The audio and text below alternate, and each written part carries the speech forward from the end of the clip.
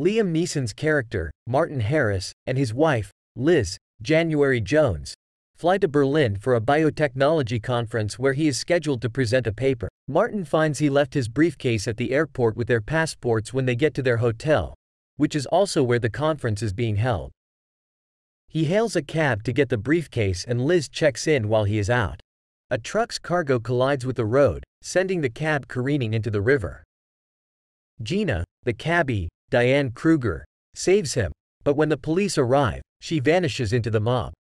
Martin has been unconscious for four days. His memory is foggy when he comes to. He is meant to be at the biotechnology conference, so when he watches a news story about it on television, he remembers. He leaves the hospital by himself and checks into the motel.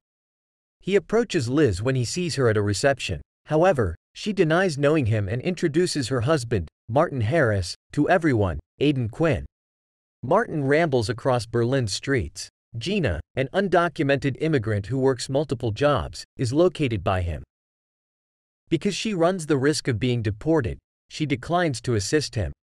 Martin visits the office of Professor Bressler, Sebastian Koch, a German bioscientist with whom he has spoken over the phone about their intentions to transform the food industry. Martin B., though, is already present when he arrives. Martin is escorted away by police during a confrontation. He self-registers at the hospital once more for additional testing. He is given a private investigator's name by one of the nurses. Following one of the tests, a hit man kills the nurse and tries to flee with Martin.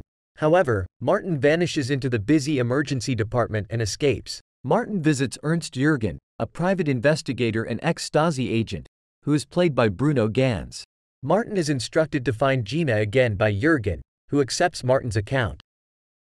When he comes upon her, he asks for a place to stay the night and gives her the watch that Liz gave him for their wedding anniversary. The assassin barges in as he is taking a shower. He is killed by Gina with his own poison, a second hit man is after them as they flee in a borrowed taxi. They conceal themselves in a disco and escape him.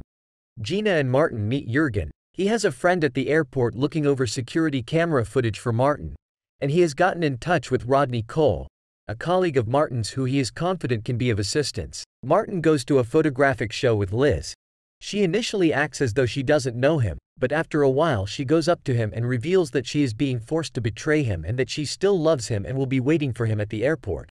Martin barely makes it out of there with Gina when the second hit man and Martin B show up. Arriving at Jurgen's workplace is Rodney Cole, Frank Langella.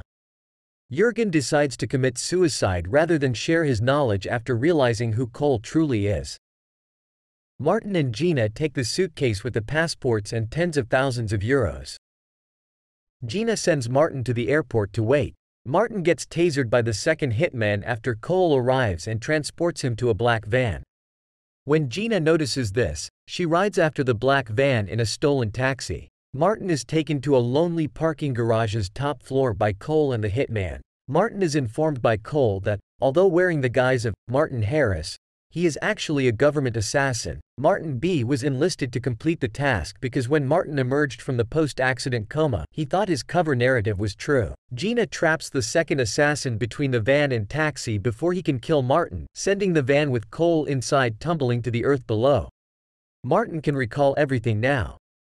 He had gone to the hotel some months prior with Liz in order to detonate a bomb. It would be utilized to murder Bressler in a way that could be attributed to Muslim radicals opposed to Prince Shada's, Mido Hamada, who is also the conference's patron, liberalizing aspirations. Gina and he dash to the motel.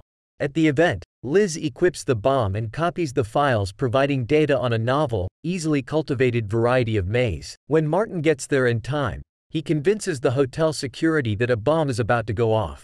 Liz leaves the hotel to defuse the explosives after security leaves, and Martin B. pursues Bressler to get him. Liz fails and is destroyed in the blast.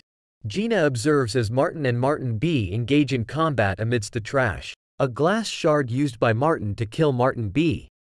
The following day, Bressler and Prince Shada generously share their new crop of maize with everyone in an effort to eradicate world hunger.